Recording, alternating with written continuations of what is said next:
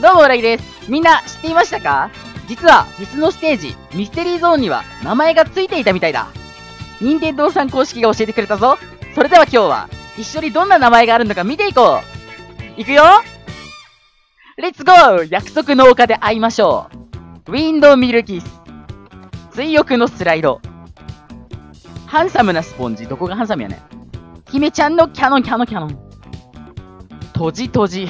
と、とじとじ。トランスペアレントボーイ。かっこいい。